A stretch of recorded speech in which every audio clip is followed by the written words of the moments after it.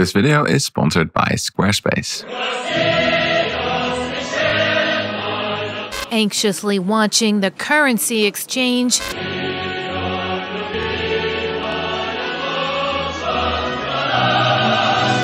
84 rubles for Onion. regular onion. Regular onion. How much was it? Four times 20 rubles. Four times. Look, we need to talk about Russia's economy. It's true that Western sanctions are wreaking unprecedented havoc upon it at the moment, but Russia's economy actually has a bigger, more structural problem. This problem ensured that Russia's economy never became a true economic superpower. Instead, Russia's economy has been characterized by cycles of stagnation, inflation, collapse, and rebirth. And yes, this also happened under Putin. After a period of tremendous growth, Russia's economy stagnated, never really reaching its full potential. And with high inflation, even before the war in Ukraine, hardworking Russians had seen their purchasing power drop by roughly a third since 2013. So why is Russia's economy seemingly doomed to volatile cycles of stagnation, inflation, collapse, and rebirth? Well, to answer that question, we need to go back in time. No, no, we'll get to that point, but for this story to truly make sense, we need to go back further in time.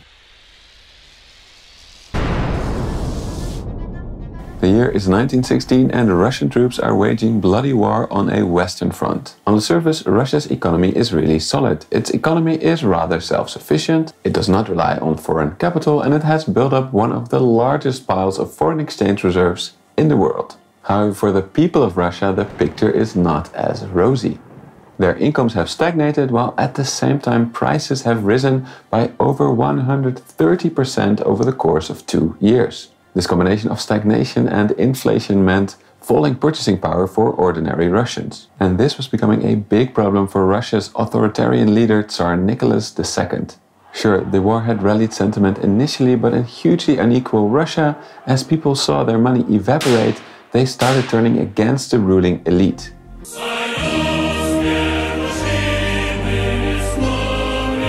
And as newly formed Soviet Russia was engulfed in revolutionary turmoil, regular inflation eventually turned into hyperinflation. Until a strong leader eventually took charge and stabilized the state and its currency. However, it was only during the 1950s that the Russian economy really came into its own.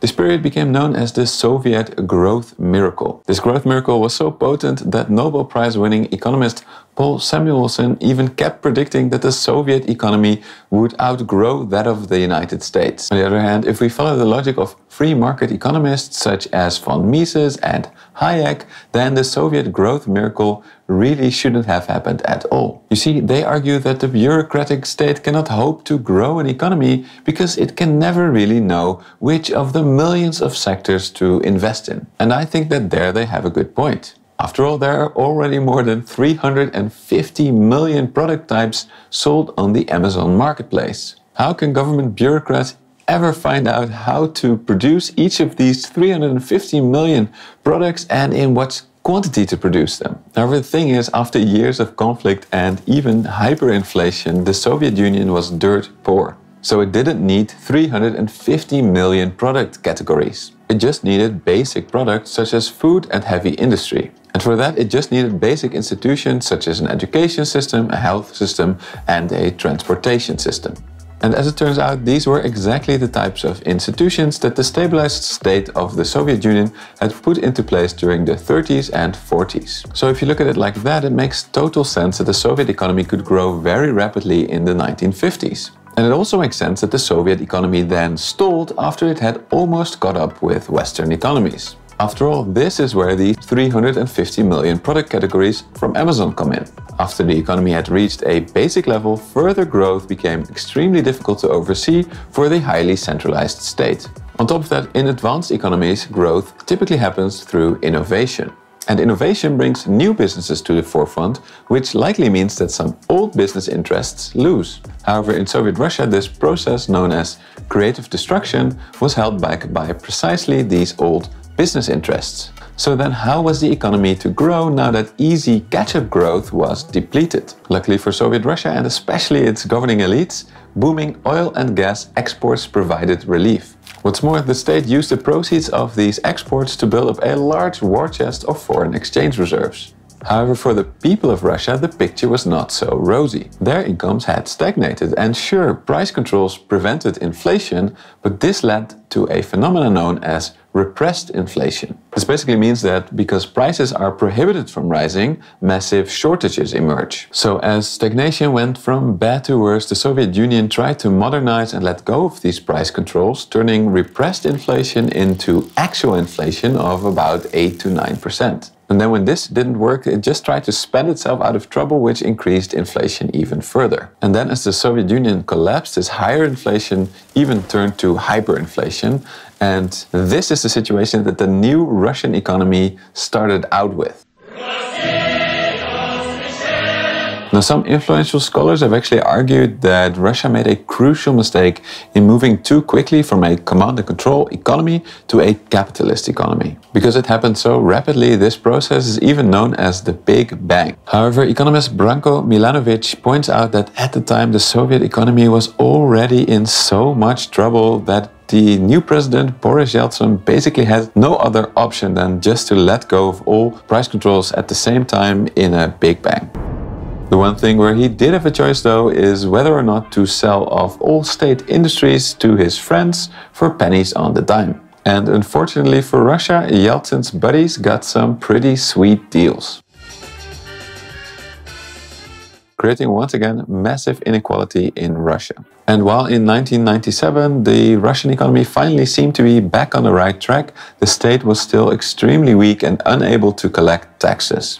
So when global capital got scared during the Asian financial crisis, a global run on the ruble followed. This led to a default by the weak Russian state and it also led to the ruble to collapse once again. What followed was sky-high inflation of roughly 85%. And this is when a new ambitious young prime minister with a new economic plan in his drawer enters the picture.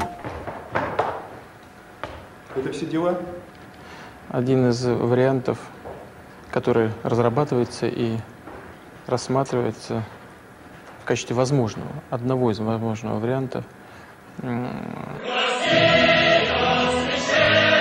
Indeed, you could say that in 1999, a strong leader stood up, centralized the state, and the Russian economy once again began to thrive as it caught up to other nations. Okay, you could also argue that the eightfold increase in oil and gas prices at that time was rather convenient. And while inflation was still high, the average spending power of Russians increased from roughly $1,800 in 2002 to a whopping $16,000 in 2013.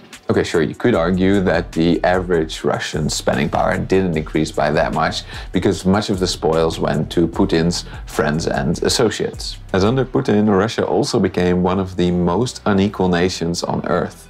But still, poverty also dropped from roughly 25% of the population in 2002 to roughly 10% in 2013. And sure, you could argue that this catch-up growth was easy because Russia still had its well-educated population, fertile land and wealth of resources. But as far as I could tell, there was genuine effort to rebuild Russia's institutions to work better for ordinary Russians. For example, under the so-called Gref reform program, barriers to opening a business were lowered. What's more, the state's tax collection apparatus was improved and so was its ability to provide crucial services to ordinary Russians for them to be able to build their businesses. So now both the essential state services were in place and there was also a more decentralized economy that could foster creative destruction. This was clearly Russia's time to shine, right? Well, yeah, at the time it really seemed that way. This is when Russia's economy was globally recognized as part of the BRIC Rising Nations Group, where BRIC stands for Brazil, Russia, India, China. This group would soon dominate the global economy. As a consequence, an influx of foreign investment and businesses flowed into the country and the economy was booming and the ruble was strengthening. No wonder that Putin became so popular. And sure, the Russian economy was hit pretty hard by the global financial crisis, but it bounced back rapidly, reaching an all-time high in 2013. outside a Ukrainian military base here in Crimea, but the soldiers over here are Russian. Мы всегда уважали территориальную целостность украинской державы. Крым – это наше общее достояние и важнейший фактор стабильности в регионе. И эта стратегическая территория должна находиться под сильным, устойчивым суверенитетом, который по факту может быть только российским сегодня. Now, in response to the annexation, the Russian economy was sanctioned by Western powers. But what was even worse is that the price of oil just happened to collapse at the same time. So the ruble fell, and because this meant that imports became much more expensive, inflation soared to 16% in 2015. Stagnation and inflation What's more, rather than investing them in the economy, the proceeds of oil and gas exports would now be used to build up an impressive war chest of foreign reserves. And the idea behind this would be to insulate Russia from future sanctions. The problem is that foreign exchange reserves are invested abroad and not locally. Not only is this bad for future growth, investment also represents income for the people of Russia. And with less income, Russians buy less stuff, meaning that other Russians now also have less income. After all, the economy is a circular system. That's how macroeconomics is different from microeconomics. On top of that, the state became increasingly heavy handed and authoritarian, and the promised reforms to make business for locals easier stalled. The best state businesses started going more and more to Putin's friends rather than to the best Russian businesses. As a consequence of underinvestment and corruption, Russia's crucial pro growth institutions then started to deteriorate. In that light, it's not surprising that some of Russia's most talented individuals started leaving Russia and starting businesses in Europe instead. To make matters even worse, because the dark, inflationary days of the 90s were so uncertain, Russian women basically stopped having children. And that now means that there are now fewer Russians to also make fewer children. Combine this with the government's mishandling of the coronavirus crisis, and the Russian economy almost lost 1 million people last year. In that light, it certainly makes sense that Putin apparently said that what really haunts him is Russia's declining population. So, how can Russia's economy break free of its cycle of stagnation, inflation, collapse, and rebirth? Well, let's see if we can find some common patterns in Russia's previous cycles. But in hugely unequal Russia, as people saw their money evaporate, they started turning against the ruling elite. Until a strong leader eventually took charge and stabilized the state and its currency. However, in Soviet Russia, this process, known as creative destruction, was held back by precisely these old business interests. Luckily for Soviet Russia and especially its governing elites, booming oil and gas exports provided relief. However, for the people of Russia, the picture was not so rosy. Their incomes had stagnated. And then as the Soviet Union collapsed, this higher inflation even turned to hyperinflation, Strong leaders stood up, centralized the state, and the Russian economy once again began to thrive. Rather than investing them in the economy, the proceeds of oil and gas exports would now be used to build up an impressive war chest. But the state became increasingly heavy handed and authoritarian. As we can clearly see, the Russian economy is doing the worst when the state is in disarray and weak. With these experiences in mind, it makes more sense that sometimes the Russian population supports some relatively authoritarian leaders.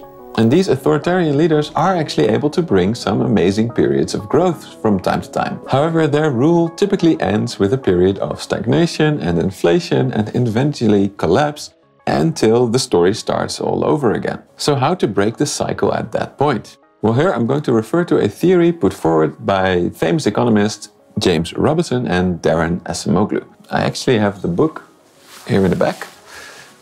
Here, in this book, The Narrow Corridor. In this book, they basically say that for advanced level growth, a strong but constrained state is needed. On the one hand, the state should be strong enough to provide the basic institutions and currency stability that is needed for growth. At the same time, the state should be constrained enough so that it doesn't hinder the process of creative destruction in the private sector. And so I would say that this is the real problem that Russia's economy is facing. Unlike countries such as Japan, South Korea, and Germany, which also started out with strong authoritarian states, the Russian state was never shackled and therefore always got out of control until it broke down, and so did the economy. At which point the cycle starts again. But hey, these are just my thoughts on the matter. And before moving on to current sanctions, onto the sponsor of this video, which is Squarespace. Squarespace provides a powerful online platform for which you can create your very own website. For creators, Squarespace really helps you to connect with your audience and generate revenue because it allows you to create gated member only content. What's more, it allows you to manage your members, send them emails, and leverage audience insights all in one easy to use platform. So if that sounds good, go to squarespace.com for a free trial. And when you're ready to launch, go to squarespace.com slash moneymacro to save 10% of your first purchase of a website or domain. And finally, if you want to know more about the impact of Western sanctions on Russia's economy, check out this video over here. And if you want to see other stories of the rise and fall of major economies, check out this playlist over here. And finally, consider supporting the channel if you like this video using the Patreon or Ko-Fi links in the description.